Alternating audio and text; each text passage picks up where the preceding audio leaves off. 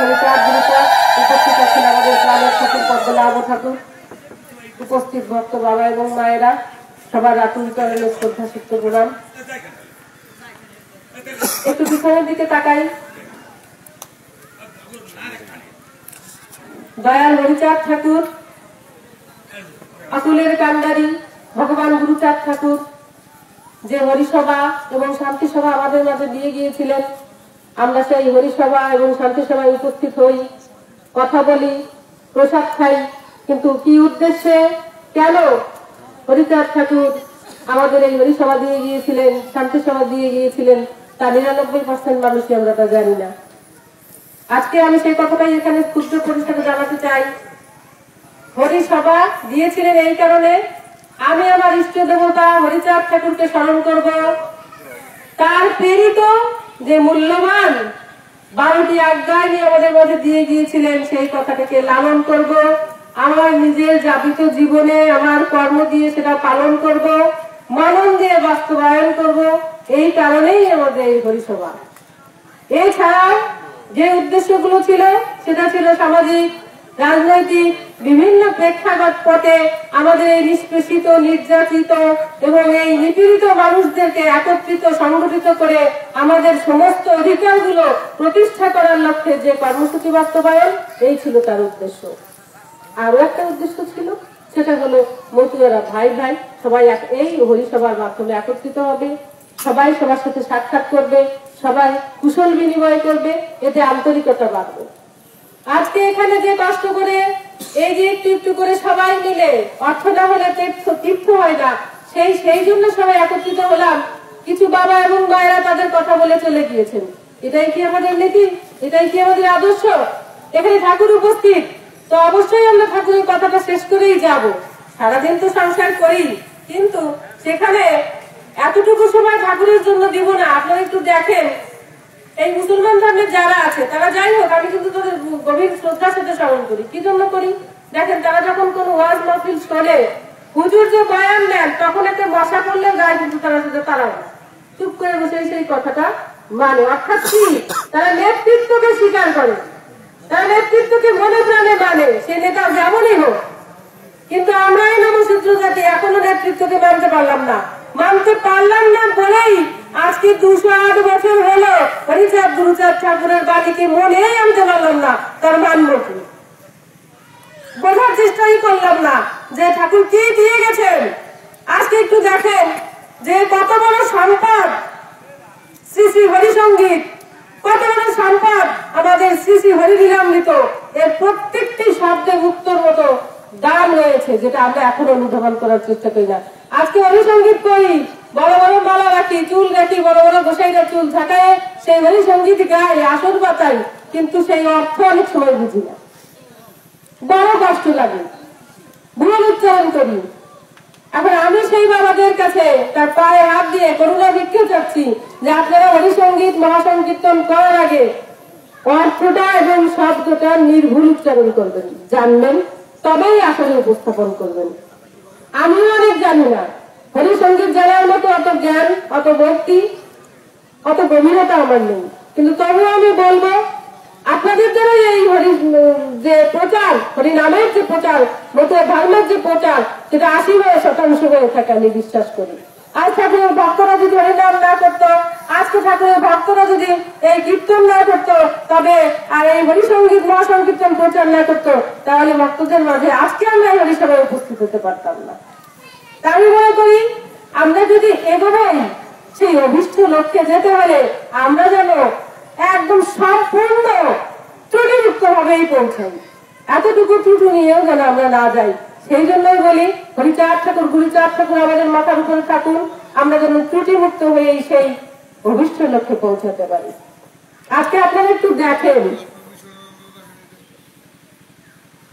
যে বাবা সাহেবকে এনে মুসলমানরা বয়ান শোনেন, তাকে লক্ষ লক্ষ টাকা দেন। গাড়িতে করে বাড়ি যেয়ে নিয়ে আসেন এবং যে সমস্ত সুযোগ সুবিধা দিয়ে তাকে সালাম করতে গেলেও তিন চারটে ব্যারিকেড সহ্য করে তারপরে যেতে হয়। আমরা কিন্তু আপনাদের মধ্যেই মোগলার ভাষাই মানুষ। আমাদের ঘর সংসার সব ত্যাগ করে আপনাদেরকে ভালোবাসি বলেই এভাবে চলে আসি। আমরা কি পরিশ্রম করব, কি পারিশ্রমিক পাবো, এটা কখনোই প্রশ্ন করি না। সেই প্রশ্ন করলে এত সহজেই একটা মিছিল মিটিং হতো না। আজ যে বর্তমান ঠাকুর আপনাদের মাঝে উপস্থিত। জীবনের জীবন, যৌবন আশা আকাঙ্ক্ষা ভালো লাগা, মন্দ লাগা, সবকিছু বিসর্জন দিয়ে শুধু আপনাদেরকে নিয়ে ঘুরেছেন। বিনিময়ে তিনি কি পেয়েছেন, কখনো কি এই প্রশ্নটা করেছেন? আজকে শান্তনু ঠাকুর সংসদে যে আইন পাশ করেছেন, সমস্ত হিন্দু সম্প্রদায়ের লোকদের নিঃস্বার্থ নাগরিকত্ব যে বিল পাশ করেছেন, এর বিনিময়ে তাকে কত কষ্ট সহ্য করতে হয়েছে? যে গাড়ি অ্যাক্সিডেন্টে তিনি মারা যেতে পারতেন তিনি সেই নির্বাচনে অংশগ্রহণ করার আগেই তার এই দুর্ঘটনা ঘটেছে। গুরুচাঁদের অশেষ কৃপা ছিল? তাই তিনি বেঁচে আছেন এবং আজকে সেই সংসদে এই বিল উত্থাপন করতে পেরেছেন এবং সাথে সাথে জয়যুক্ত হয়েছি আমরা। কিসের জন্য জয়যুক্ত হয়েছি? এই হরিচাঁদ গুরুচাঁদের আদর্শে যে জীবনের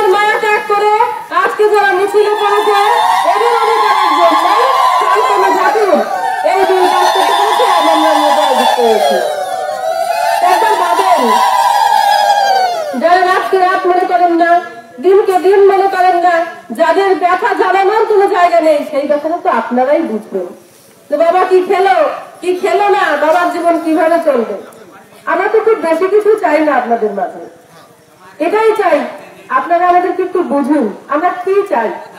আমার ভগবান গুরু, শ্রী শ্রী গুরুচাঁদের মুখের ছবির দিকে একবার তাকাবেন। মুখ্যালঙ্কার মলিন কেন মলিন তিনি একা ভালো থাকতে চাননি। তিনি একা ভালো ঘুমাতে চাননি। তিনি একা আয়েস করতে চাননি।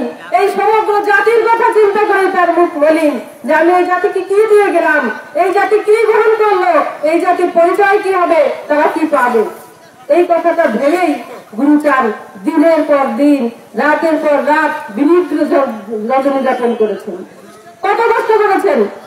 আজকে যখন প্রতিদিন আমার কাছে মিড স্কুলে যাই, তখন চিন্তা করি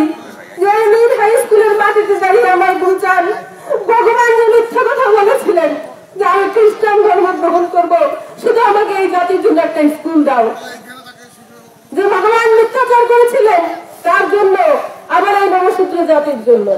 একবারও কি শুয়ে ভাবি যে কোট প্যান্ট টাই পরে স্কুলে যাই একবারও কি ভাবি এই শুয়ে পরে যে করে হাঁটি একবারও কি ভাবি যে এই হরিনাম প্রচার করে আমি আমার সংসারে অনেক বোঝাইরা আছে সমস্ত চাহিদা মিটাই?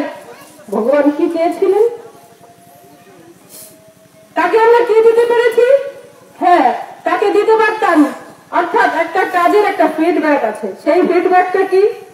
ভগবান কি চেয়েছিলেন? আমরা যদি সেই পথে চলি, সেই মতাদর্শ, সেই কর্মক্রিয়া আমাদের যাবিত জীবনে অনুকরণ করি প্রতিস্থাপন করি, হৃদয়ে মনের মধ্যে মনে কোথায় গোপনে স্বপ্নে লালন করি, পালন করি, তবেই সেই লক্ষ্যে যাব। আসলাম, দুটো খিচুড়ি খেলাম ডান করা বাজালাম হরিনাম করলাম, চলে গেলাম। কিন্তু ভাবলাম না, আসুন, সত্যি সত্যি একবার আমার পরিচয়কে ভালোবাসি। সত্যি সত্যি আমার সেই গুরুচাঁদের কথা উপলব্ধি করার চেষ্টা করি। আজ আমাদের তো সংসার আছে। আজকে চার দিন পথে নেমেছি।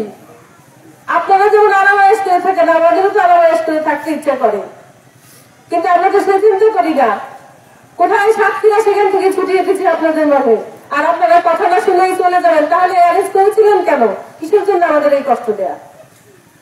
এই প্রশ্ন আজকে আপনাদের মাঝে রেখে যাই। সেটুকু বলতে চাই, যদি ভালোবাসতে হয়, মন দিয়েই একশোতে একশো ভাগ ভালোবাসবেন নাহলে দূরে সরে থাকবেন। কোনো সমস্যা নেই।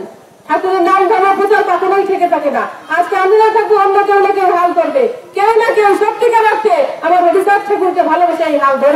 সত্য কথা মায়েদের বলব আপনারা এগিয়ে আসুন আজকে ভাইকে আমি একা কথা বলব কেন? আপনাদের মতো দশটা বাইরে এখানে এসে সেই কথাটা বলবেন। ঠাকুর আমাদের জ্ঞান চক্ষু খুলে দেওয়ার জন্য যথেষ্ট যুদ্ধ করেছেন। আর সেই যুদ্ধের ফসল আমার ঘরের প্রতিটি সন্তান এখন কেউ বিয়ে পাস করেছে কেউ এমএ পড়ে। যারা এই মেয়েরা এমএ পড়ে, যারা এমএ পাস করেছেন সব সবথেকে বড় ডিগ্রিটা যারা নিয়েছেন, তাদের কাছে আমি বিনীত অনুরোধ করব।